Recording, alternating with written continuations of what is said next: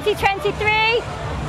It is absolutely amazing. The sun is shining and it's a glorious day. My name is Billie Clements and today we're going to be doing a competition and we're going to see whether who can get the four hoops on the Flamingo and we're going to be giving tickets away for 2024. How good is that? So come with me and let's find some people who want to win some tickets. All you have to do is get at least three of these on my head.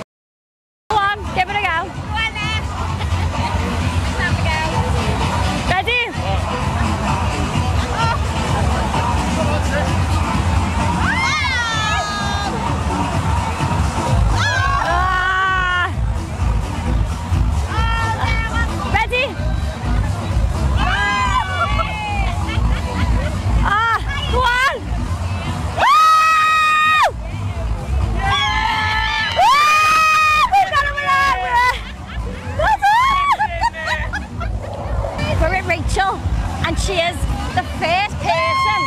You are the first person to have tickets for Reminisce 2024.